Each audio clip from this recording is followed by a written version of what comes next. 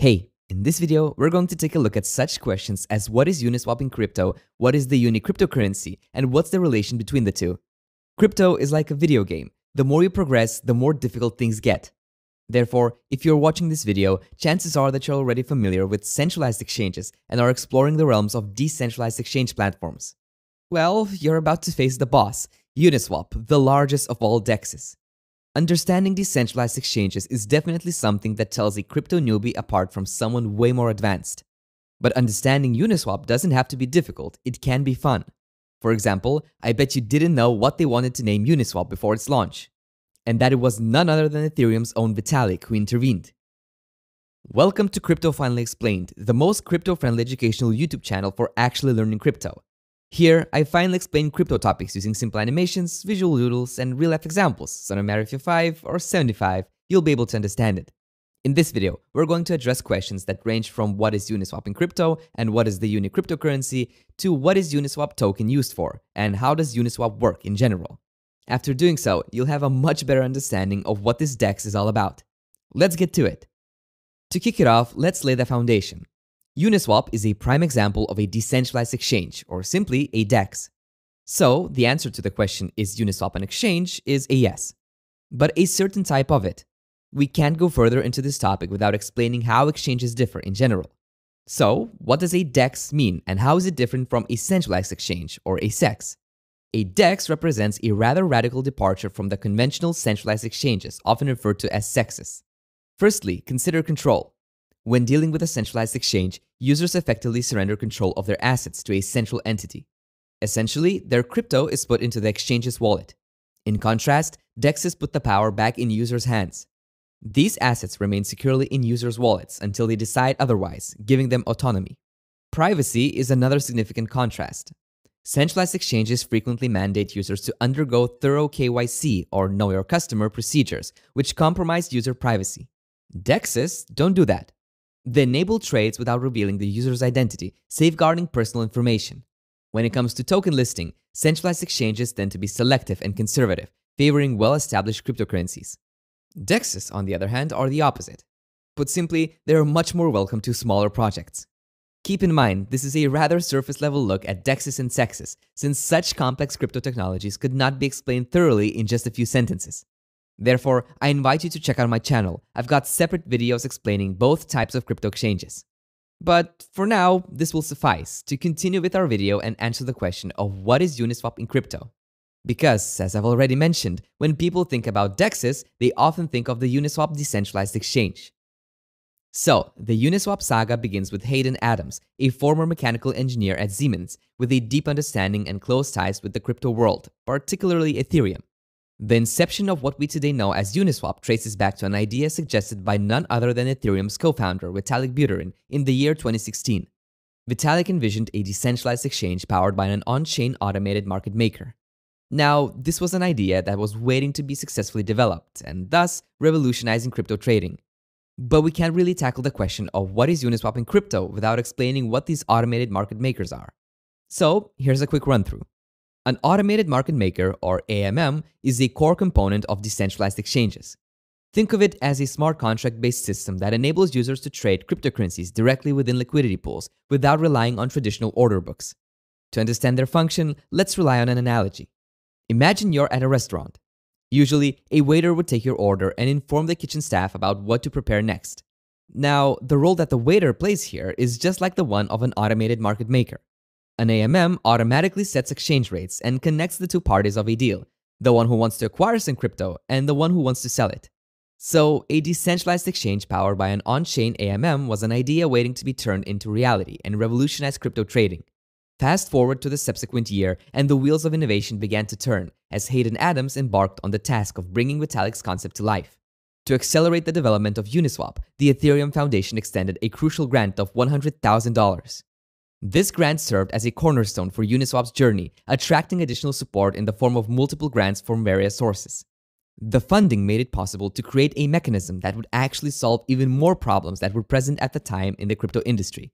For example, centralized exchanges had long dominated the crypto landscape, yet they suffer from issues such as trading restrictions, significant lack of transparency, or regulatory problems. So, if developed successfully, Uniswap promised to be quite a game changer. And the pivotal moment arrived in November of 2018 when Uniswap made its official debut, entering the cryptocurrency arena. Oh, before we move on to the question of how does Uniswap work, there's one more intriguing tidbit about Uniswap's journey that needs to be mentioned. Its name. Hayden initially considered naming it Unipeg. However, Vitalik intervened, suggesting the name Uniswap. And so, this is how the Uniswap we know today came into being. Alright, this brings us to another chapter in which we'll address the questions of what is the Uniswap token and what is it used for. But to answer these questions, we should take a look at another crypto concept, liquidity pools. In the broader cryptocurrency context, liquidity pools are mechanisms that facilitate trading by providing a reserve of assets for buyers and sellers. These pools consist of pairs of tokens or assets, and users contribute their funds to them, often in equal value ratios, to enable trading. This way, it makes it possible for crypto trades to take place. Imagine trying to exchange some Ethereum for altcoins. The trade can only take place if that particular amount of that particular crypto is actually stored in the exchange's liquidity pool. If you feel like learning more about liquidity pools, I invite you to watch a video I made about them. Uniswap is only possible because their liquidity pool is fully in operation. But where do the assets that form their liquidity pool actually come from? Well, from liquidity providers. Liquidity providers are those who decide to contribute their crypto to liquidity pools on the Uniswap decentralized exchange. These providers deposit pairs of tokens into the pools, maintaining a specific ratio between the two assets. But why do people choose to become liquidity providers? Because it's a way of earning some passive income. In return for their contributions, liquidity providers earn a portion of the trading fees generated within the pool, incentivizing them to provide liquidity to the platform. These rewards come in the shape of Uniswap's native token, UNI. As I've just mentioned, this incentivizes users to provide liquidity, which in turn enhances the overall liquidity and efficiency of the platform. But incentivizing liquidity providers is not the only role that UNI plays. So, what is the UNI token all about? Uni is the native Uniswap's governance token, and it plays a central and multifaceted role in its ecosystem. Uni token holders have the power to participate in the governance of Uniswap. They can propose and vote on changes, upgrades, and improvements to what Uniswap looks and feels like. So, as you can see, the decentralized nature of a decentralized exchange applies to its governance model as well. In addition to that, Uni tokens can be used to pay for transaction fees on the Uniswap platform. This adds a practical utility to UNI tokens, as users can use them for everyday interactions with the platform. And finally, UNI tokens contribute to financing the development and growth of Uniswap. A portion of the protocol fee, if activated, is directed to a Uniswap fund for future development initiatives. Uni holders have a say in whether this fee should be activated or not, ensuring ongoing innovation and improvement. It's like paying taxes, but voluntarily. So, this answers the question of what is Uni in crypto. But what about its tokenomics? Uni tokens were initially distributed through an airdrop to individuals who had traded on Uniswap prior to September of 2020, providing an inclusive way to distribute tokens to early users and contributors. By the way, if you feel like learning more about airdrops, check out my channel. I've got a video about them. Back to the topic. What concerns the token's total supply, Uniswap minted a total of 1 billion Uni tokens, which are gradually unlocked over a period of 4 years to ensure a controlled release and price stability. The initial distribution allocated 60% to the community, 21.51% to the team, 17.8% to investors, and 0.69% to advisors. Team members, investors, and advisors have a four-year vesting period. This means that their funds are locked and are not possible to be withdrawn immediately. This signaled a commitment on the receiver side to the project's long-term success. Uniswap really didn't mess around when it came to their long-term plan. They have shown growth, improvements, and active involvement in dealing with problems that occurred throughout their journey.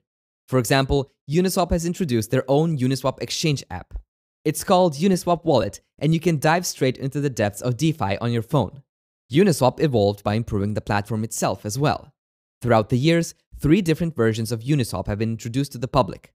Uniswap V1 was introduced on November the 2nd of 2018 as the first version of the Uniswap decentralized exchange. Soon, on May 18th of 2020, Uniswap V2 was launched, introducing several new features and improvements. Finally, Uniswap V3 was officially deployed on May 5th of 2021, bringing significant changes to the protocol, including such features as concentrated liquidity and multiple fee tiers. This brings us to the end of the video. We have answered such questions as what is Uniswap in crypto and what is Uniswap used for in general. Throughout the video, we've explored the past and present of Uniswap, the most popular of all decentralized exchanges.